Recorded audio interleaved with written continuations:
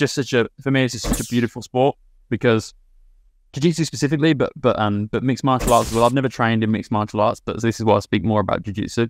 Uh, it's a Uh-huh. beautiful sport. I was watching. I, I train today, so every Saturday we have something called an open mat, which is there's no class on, but you just go and and you uh, you fight, you spar.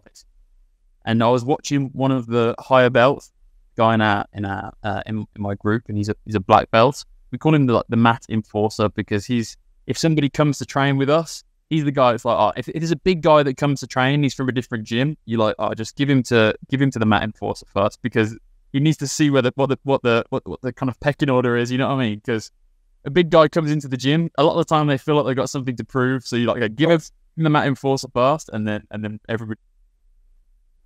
Anyway, so I was Yeah. I was in this guy earlier on, and the way that he uh, he moves which sounds kind of crazy to speak about it, but the way that he moves, there's two guys fighting. The way that, kind of like will, will move his body to kind of keep total control of the person that he's sparring just shows like what an effective martial art it is because it's it's beautiful. It's almost like a dance the way he moves. It's so it's so technical, but it's also you have that element of dancing where you're uh, you're kind of free to do whatever you want. Lots of things you could turn this way, you could turn that way, and it's exactly the same with jiu-jitsu. And the difference is with jiu-jitsu, your your dancing partner, they're they're dancing against you. They're not dancing with you. You know, I mean, they're dancing against you, which makes it even more beautiful when you see something that is that is that uh, striking, and you see some a move or something with such like um, fluidity. Fluidity, I think, is, is, is the word. Maybe maybe not. But anyway, you, you It is. get- It is. I think so. Yeah.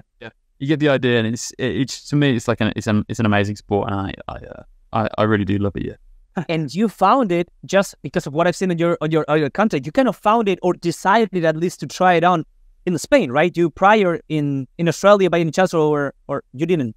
No, so in Australia, so um, I, I I had a motorbike accident when I was at the start of my time in Australia. So I was in Vietnam actually, and I had a motorbike accident, and I and I really hurt my. I I ended up having a bad crash in in, in Vietnam, and I really destroyed one of my knees. So while I was in Australia, yeah. So while I was in Australia, and as I say, they're really into the fights over there. They're really into the UFC. So every Sunday, with the time difference, they get up early and they go they go to the pub all day, drink and watch the fights.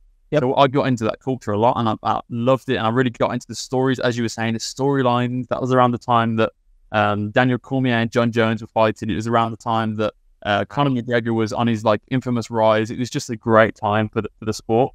Uh, it's when it's when the sport gained a lot of fans as well. And I always thought uh, it was always the jiu-jitsu element that I liked more because although I love I love mixed martial arts, watching it, I don't really want to be uh, receiving too many hits to the head. I think jiu-jitsu is a great way to fight someone.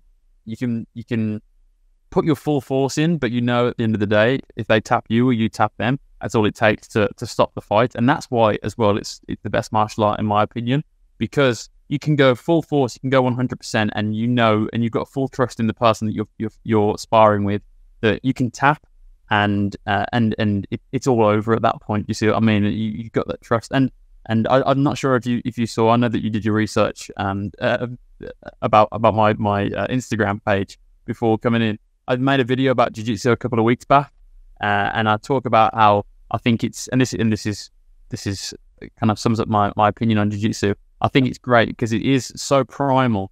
Um, yeah, it's something very, very modern in a sense as well, and it's just something so it's something so raw and animalistic.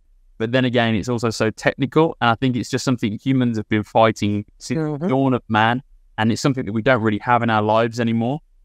Then it's something that when I've left jiu-jitsu, I feel so at peace. I feel happier. That obviously you're exercising, so the endorphins are going off, but it's something deeper than that. It's almost like a meditative state. Uh, and I think it's a it's it's an incredible sport for that. And then obviously you have all the other benefits of like you've got your team, it's very sociable, all that sort of stuff too. But there's just there's a very animalistic, primal uh, element of it, which I think other, a lot of other sports don't don't offer.